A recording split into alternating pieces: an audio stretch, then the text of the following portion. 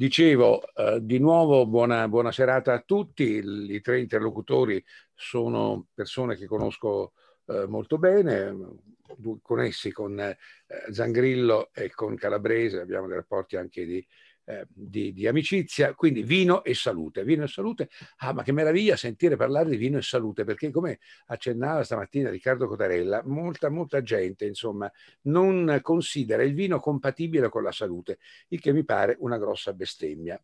E prima di chiederlo a eh, Giorgio Calabrese, che insomma in tante occasioni anche in televisione ha detto che un po' di vino può far solo bene, lo chiederei ad una new entry autorevolissima in questo campo, e cioè con Alberto Zangrillo. Allora, Alberto, il vino in modica quantità può perfino far bene?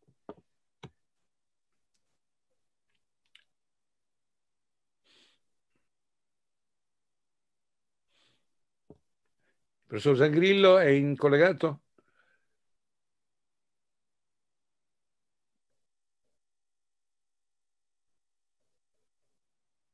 In collegamento ma non lo sentiamo. Provi a disattivare e riattivare l'audio. Eh, il professor, ma Ora... chi? Scusi, non ho capito. Non sentite Zangrillo? Non lo sentiamo. Questo è per il suo capo. Allora vogliamo cominciare con Calabrese mentre voi riattivate Zangrillo? Forse è meglio. Forse è meglio. Allora, Giorgio, buonasera. Buonasera, direttore. Allora, ti prego di fare un discorso un po' più approfondito di quello che fai a porta a porta, dove eh, insomma, dici delle. Lì abbiamo, abbiamo, poco tempo e soprattutto abbiamo una effervescenza di grande gradevolezza perché in poche parole dobbiamo dire tante Anche cose. qua in poche parole, non ti allargare perché anche qua dobbiamo andare subito al punto. Allora, è, allora perché il vino in modica quantità, intanto stabiliamo qual è la modica quantità e poi spieghiamo esatto. perché in modica quantità fa bene alla salute. Esatto, perché il vino intanto non è una bevanda ma un alimento liquido. E questa è una delle condizioni che spesso, come noi, come scienziati, come medici, ci ha messo a volte in contrasto con qualcuno che è magari molto, come dire, negazionista. Noi abbiamo bisogno di percepire che il buon bicchiere di vino ai pasti, possiamo arrivare a due bicchieri sicuramente, per, partendo dal concetto, come io ho sempre detto da 40 anni, si beve l'acqua, si gusta il vino, quindi noi quando abbiamo sete ci, di, di, ci idratiamo con l'acqua, ma quando noi mm, ci nutriamo e accompagniamo il cibo con il vino, allora noi sappiamo che dobbiamo accompagnarlo e non bere interi litri di, di, vino, perché è molto importante che il vino entri come ogni alimento, come la pasta, come la carne, come le verdure, in nella giusta quantità. Due bicchieri di vino negli uomini, un bicchiere di vino nella donna e spiego anche il perché. Intanto devo dire una cosa, noi siamo un gruppo di scienziati internazionali diretti dal professor Carl Sellison della Boston University dove io ho insegnato per tanti anni come visiting professor e abbiamo fatto un gruppo che parte dai francesi, dagli spagnoli, dagli argentini, dai cileni e quant'altro e dagli americani e abbiamo visto che cosa? Che sempre più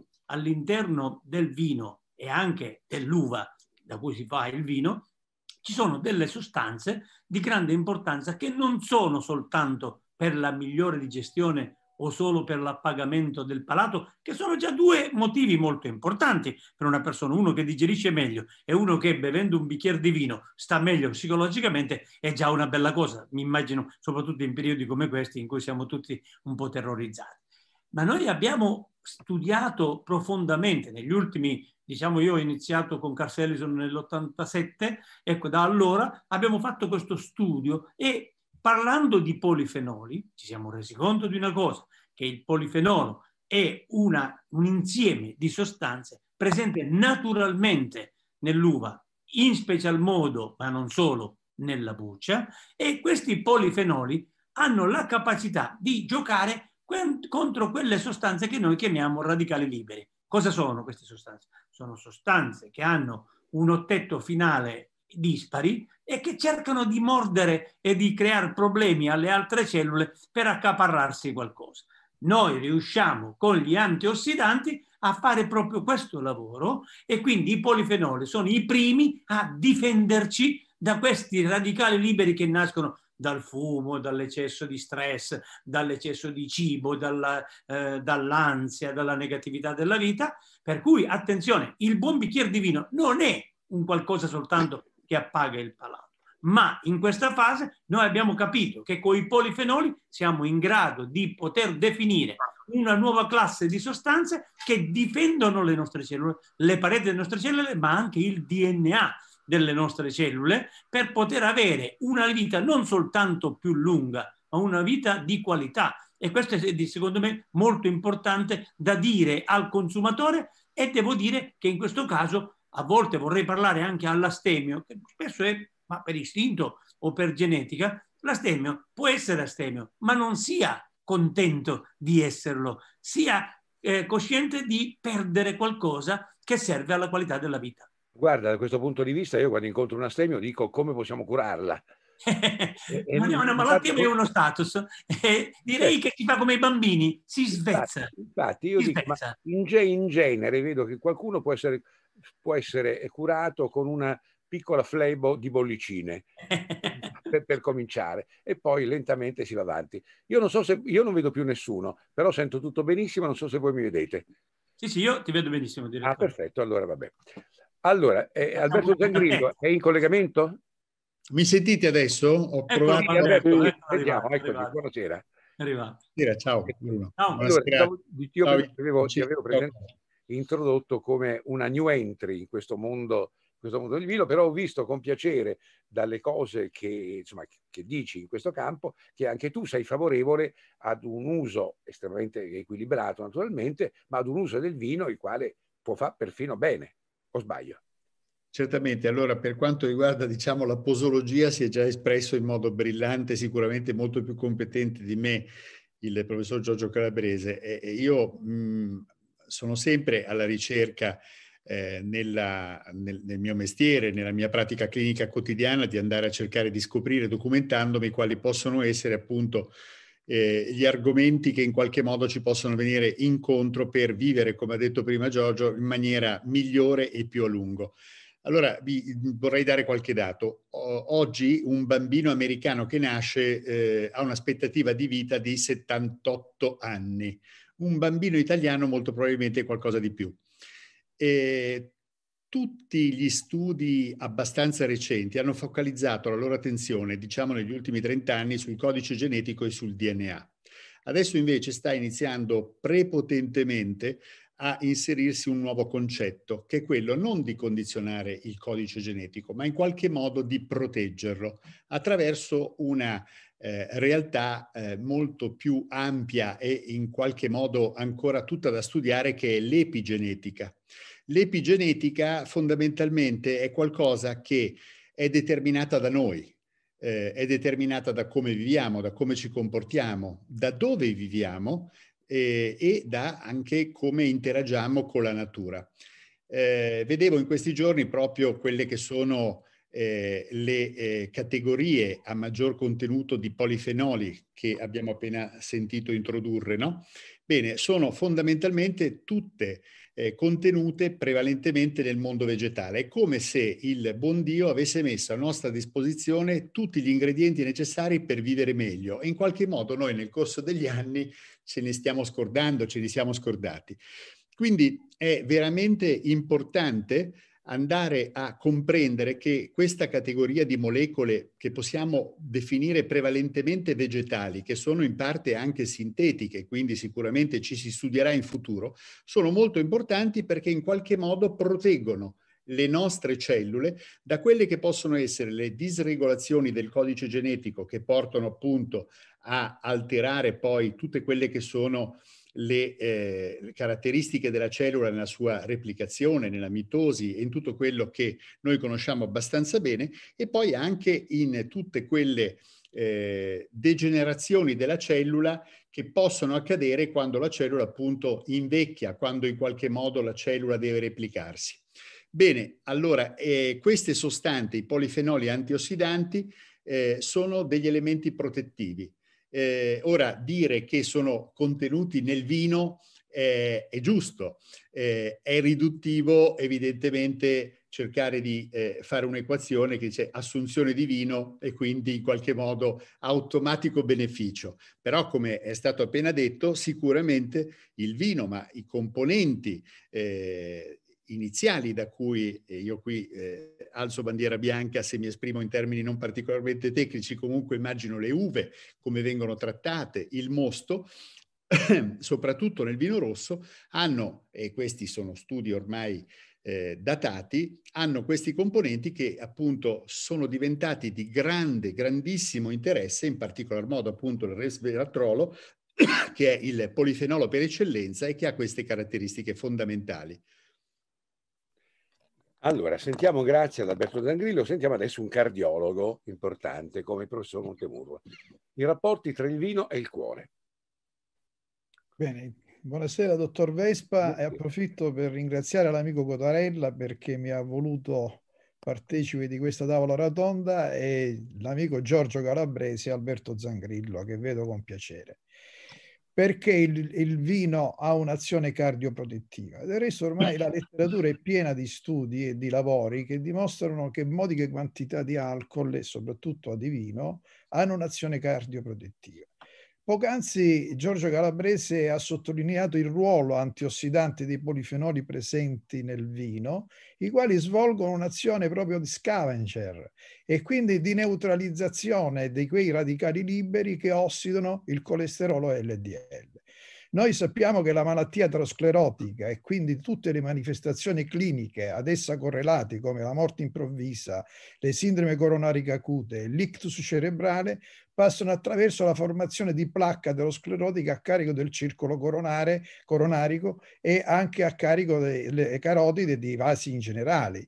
Bene, la placca si forma perché il colesterolo LDL, quello che noi chiamiamo cattivo, va incontro a ossidazione e viene captato dai macrofagi, dai monociti macrofagi. E quindi si forma questo cosiddetto non self, viene riconosciuto come estraneo, non viene più eh, metabolizzato, clirato attraverso i recettori delle LDL presenti nel fegato che hanno insegnito due grandi della medicina eh, premi Nobel proprio per l'importanza che rivestono i recettori per le LDL come Michael Brown e, e, e, Jess Goldstein.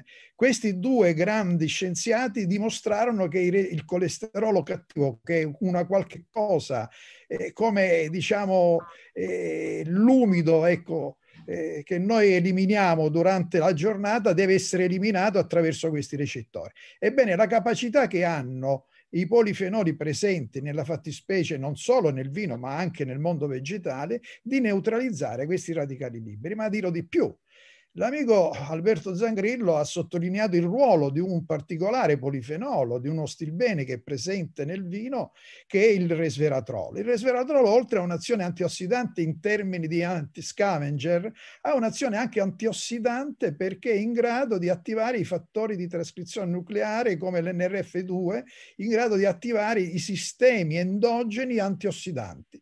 In effetti noi abbiamo una capacità del nostro organismo di svolgere un'azione antiradicale libera e antiossidanti. E questa capacità ci viene da ciò che noi introduciamo, e tutti i polifenoli, non solo del vino, ma nei, nei vegetali, nella frutta, in tutto, in, nel cibo che giornalmente noi introduciamo. Dovremmo raggiungere una certa quantità, circa 5.000 radon, però il nostro organismo non funziona al massimo. In alcune situazioni questi polifenoli possono stimolare la capacità e quindi portarlo a un sistema massimale di reazione il nostro organismo. Ma al di là di questo svolgono anche un'azione antinfiammatoria, oltre che antiossidanti, che è molto importante, soprattutto in questi contesti clinici che noi stiamo vivendo, ad esempio l'infezione delle vie aerei da Covid abbiamo sentito come lo shock citochinico è, st- è stato diciamo l'aspetto patogenetico che ha condizionato l'evoluzione clinica fino alla morte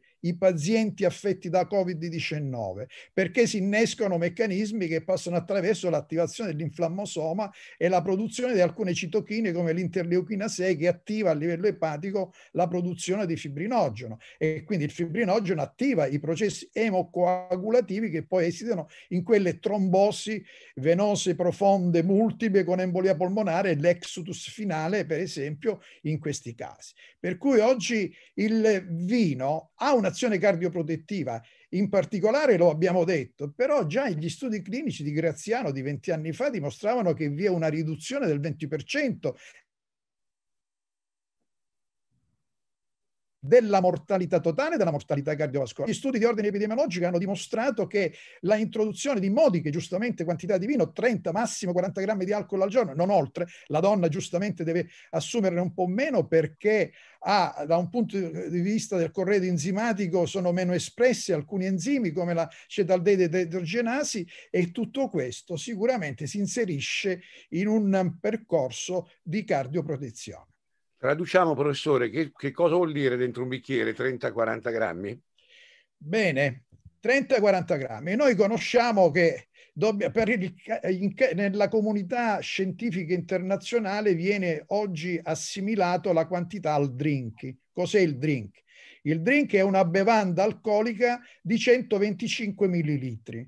Allora, per calcolare i grammi di alcol contenuti in quella quei, quei millilitri, bisogna conoscere in, primo, in primis la gradazione alcolica. Ad esempio, un vino che è 12 volumi di alcol significa che in un litro non è che ce ne sono 120 grammi di alcol, perché il coefficiente è 0,79, arrotondiamo a 80, per cui ci saranno in un litro 96 grammi di alcol. Se un soggetto può assumere 30, massimo 40 grammi perché il nostro fegato è in grado di metabolizzare nell'intera giornata i 30 grammi di alcol, noi dovremmo assumere grosso modo un po' meno di mezzo litro perché se mezzo litro 96 diviso 2 sono 4 e qualche cosa e quindi sono 40 grammi, quindi qualcosa in meno, un quartino di vino al giorno sicuramente rientra in un'abitudine salutistica e che può sicuramente trovare legittimazione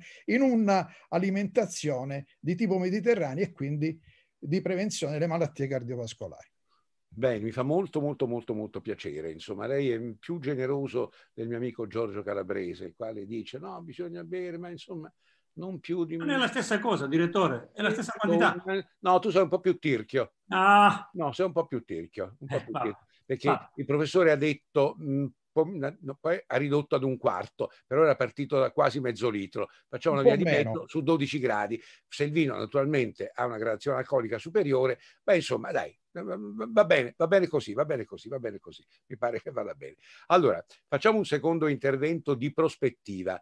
I giovani, eh, allora, da un lato c'è un consumo giovanile eh, di vino, però i giovani si vanno eh, orientando verso altre, un altro tipo di eh, superalcolici, oppure le bevande gassate, eh, oppure eh, la birra. Vorrei chiedervi queste tre tipologie, se sono migliori del vino o se sono peggiori. Giorgio?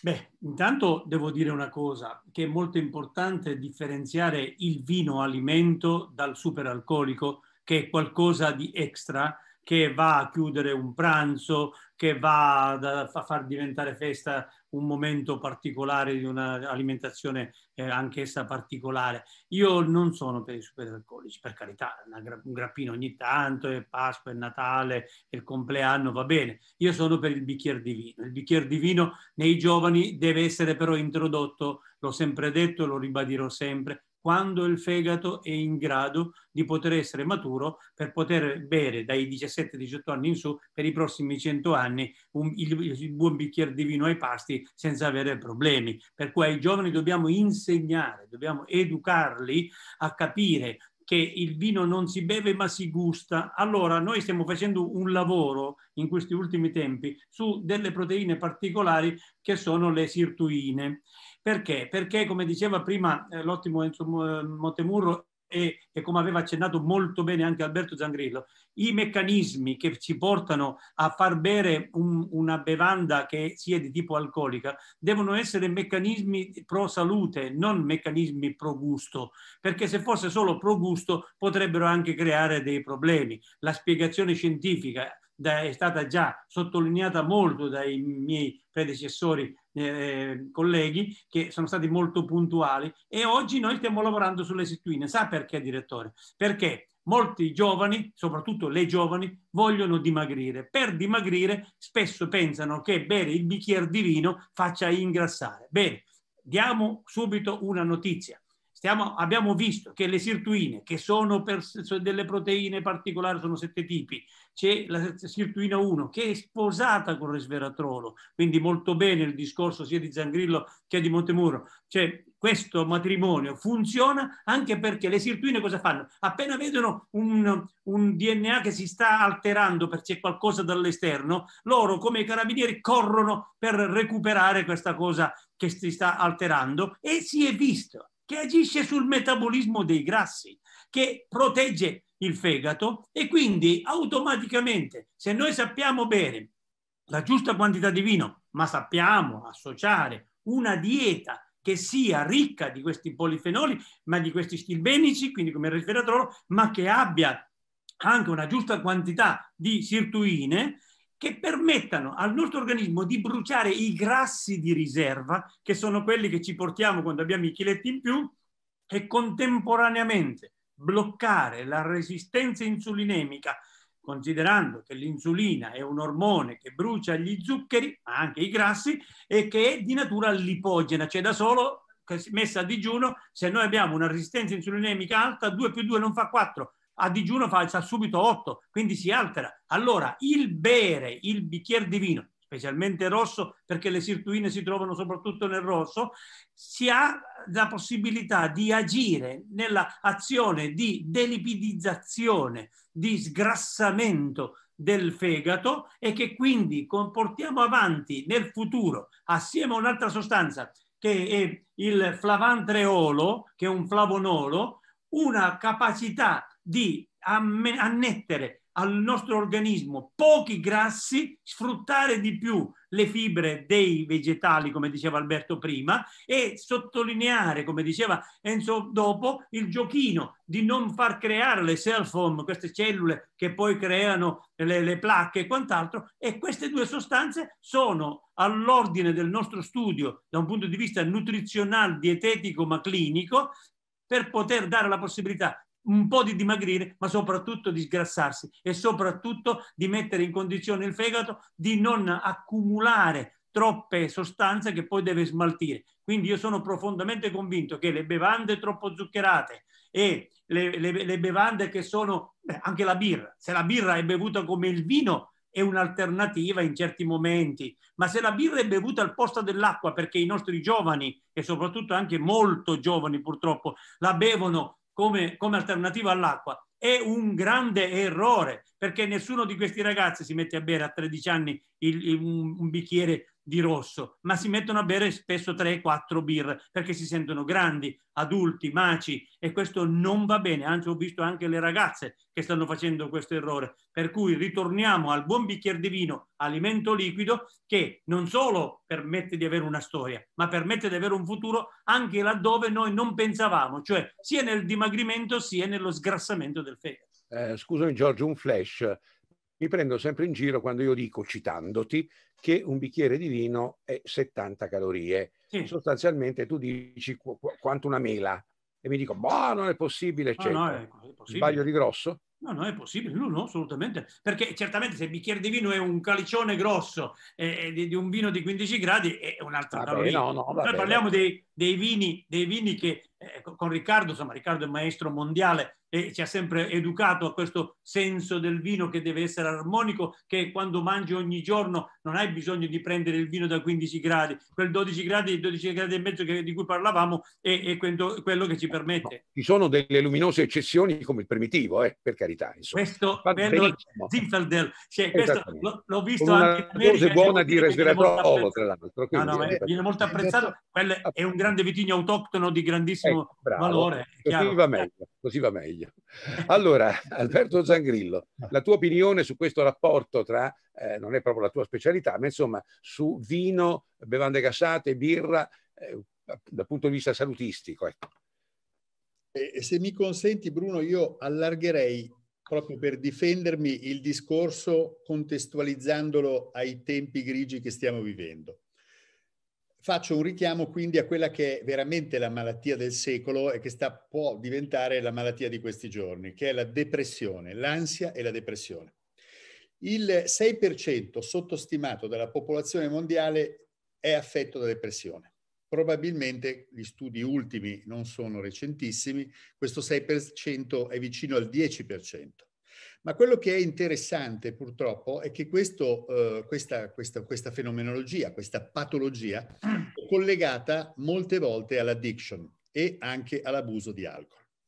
E quindi eh, questo va un po' non in controtendenza con quello che stavate dicendo, cioè la necessità, soprattutto di questi tempi, di esercitare un vero e proprio piano progettuale educativo perché io sto assistendo proprio anche semplicemente eh, osservando quello che ci circonda, che, che era, quello che era il segno proprio anche dell'emancipazione sociale particolarmente femminile nel, nelle ultime decadi, il fumo, si sta appunto, eh, eh, sta per essere sostituito dall'alcol, però dall'alcol non quello buono, non quello fisiologico, non quello che potrebbe appunto in qualche modo mitigare anche la ansia e la depressione. Quello che sinceramente eh, manca di più a me, e faccio una piccola confessione, quando in queste lunghe giornate grigie, buie, che non finiscono mai, eh, in qualche modo obbligate dal lockdown a raggiungere la macchina quando ormai è buio, d'estate magari lo si sentiva meno, e raggiungere casa, è proprio la, ehm, quel, quel piccolo premio che ti dai socializzando e quindi stando con gli amici, stando in famiglia e appunto eh, facendoti accompagnare da un buon bicchiere di vino. E eh, io quindi eh, veramente credo che eh, noi siamo di fronte a un eh, momento molto grave, molto grave, perché ci sono tutti gli ingredienti perché ci possa essere veramente, se non siamo in grado di dare delle parole eh, giuste, eh, proprio anche su dati scientifici, se non siamo attenti a stare insieme ai nostri ragazzi, ai nostri giovani, li perdiamo si è tanto enfatizzata la movida, no? E la movida si è vista come il fenomeno negativo perché appunto favorisce l'assembramento. In realtà la movida è quasi diventato un vizio, come la pericena, che è proprio la cosa peggiore. Io credo che Mario sia d'accordo con me, lui è un nutrizionista, no? Perché appunto facendo il cosiddetto apericena tu bevi male e mangi male e mangi peggio.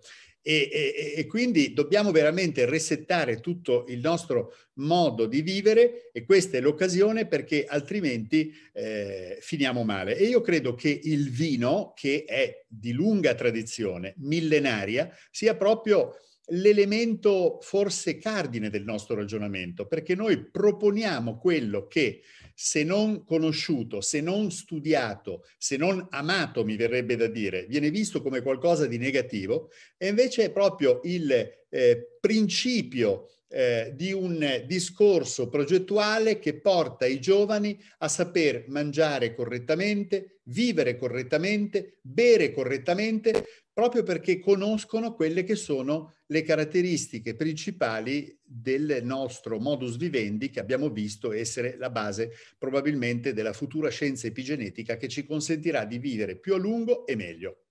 Grazie Alberto Zangrillo per questo intervento illuminante. Lui ha ragione, purtroppo il male del secolo è la depressione e mh, quando sono andato quando sono andato nel nord, nei comuni più colpiti dalla prima ondata del, del virus, ho visto che tante famiglie, famiglie, tutti lì hanno perso qualcuno, insomma, ma sono un'infinità superiore ad ogni immaginazione le famiglie che sono tuttora sotto cura da parte, sotto cura psicologica, se non addirittura psichiatrica in certi casi, ma psicologica, certamente da parte delle, delle strutture, in Lombardia dove sono andato io le strutture per fortuna funzionano, ma devo dire che il colpo è stato talmente grosso che la depressione, e però non è soltanto quella depressione, eh. Zangrillo parla di una depressione esistenziale e quindi quella depressione da un lato non, non, bisogna abusare di alcol perché l'alcol può essere poi un veicolo pericoloso per, per, per, aggravarla, ma al tempo stesso, come dice lui, quando tu torni a casa e prendi un buon bicchiere di vino, quello invece è un antidepressivo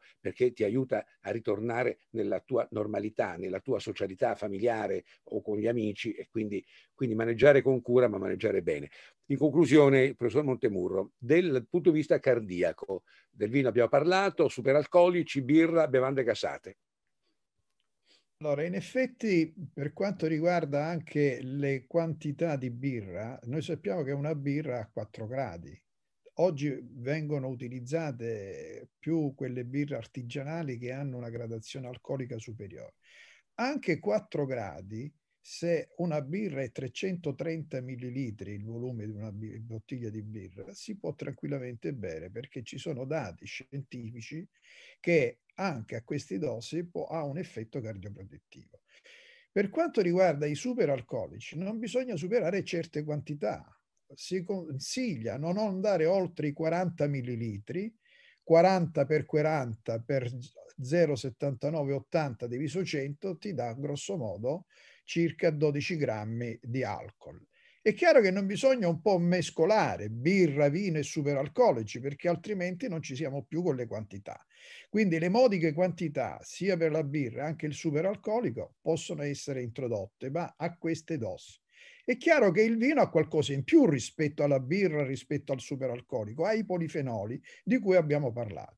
Abbiamo parlato sia del resveratrolo, ma adesso ci sono dati molto interessanti sulla quercetina.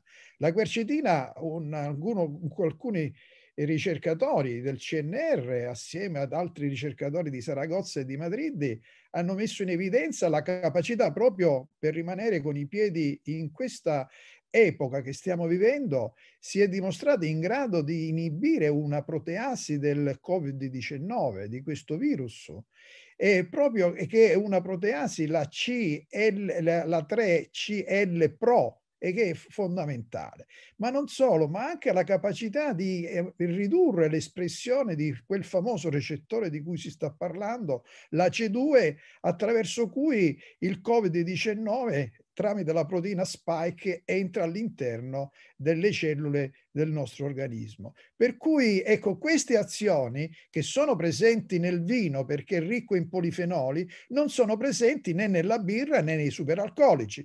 Fermo restando che basse quantità anche di alcol non creano problemi e quindi vanno anche in una linea ecco, di cardioprotezione se assunte in quelle dosi, il vino ha qualcosa in più, un plus valore per la presenza di eh, questi antiossidanti e questi polifenoli. Allora, grazie a professor Montemurro, grazie a Alberto Zangrillo e a Giorgio Calabrese. E non so se Riccardo Cotarella vuole aggiungere qualcosa prima di restituire la linea alla nostra conduttrice. Eccomi. Allora, mm, chiedevo se volevi aggiungere qualcosa a questo dibattito. Sì, volevo, non, non, non, ho il video, ma è uguale. Mi senti, Bruno? Sì, sì, ti sento. Ti, ti vediamo pure, Riccardo. Ah, bene. Ecco. Beh, che meraviglia, che meraviglia. Se voi pensate che noi siamo stati, noi enologi, denunciati, no, denunciati, sì, anche denunciati, abbiamo, già chiesto, diciamo, l'Istituto della Concorrenza delle motivazioni a quali studi eravamo ricorsi per fare un'affermazione che al cospetto di quello che oggi hanno raccontato tre scienziati era veramente all'acqua di rose. Noi abbiamo detto, scritto, che una moderata dose di vino potrebbe, quindi condizionale, igienizzare il cavorale. Beh, non vi dico questi quante cialtronate sono venute incontro e noi abbiamo dovuto approfondire proprio come nostro costume con la scienza quelle che sono la realtà dei fatti, a dire rapporto vino e salute. Ora, non perché, diciamo, tra i tre relatori ho due amici fraterni, il professor Zangrillo avrò modo di conoscerlo per le mie frequenti visite di controllo, per fortuna al San Raffaele, ma devo dire che hanno fatto una disquisizione veramente chiara a tutti, no? E ne faremo, senza suonare le campane, sicuramente lezione anche nella nostra divulgazione, nella nostra comunicazione, a dire che una dose moderata di vino sicuramente non porta danni all'organismo, anzi potrebbe anche favorirlo. Io vorrei ringraziare tutti e tre i nostri relatori, veramente gratitissima relazioni, interventi. A te Bruno cosa posso dire? Non ho parole per il tuo supporto, l'apporto che dai a noi enologi, ci dai la tua professionalità, la tua preparazione. Un mio collega mi ha scritto un messaggio, dice che sarebbe dei nostri congressi senza Bruno Vespa. Dico, ma io credo che finché ci siamo sarà con noi. Quindi grazie di cuore, grazie ai tre Andiamo scienziati, relatori. Tutti. virtualmente. grazie Enzo, grazie, grazie Giorgio, grazie, grazie ciao Riccardo, grazie ciao Bruno. Bruno. Arrivederci. Ciao Giorgio. Arrivederci. Ciao, ciao a tutti. Alberto, ciao, ciao, ciao, ciao. Grazie mille, grazie mille a Bruno Vespa, a Riccardo Cottarella e a tutti i nostri ospiti per questa chiusura decisamente ricca in spunti di riflessione.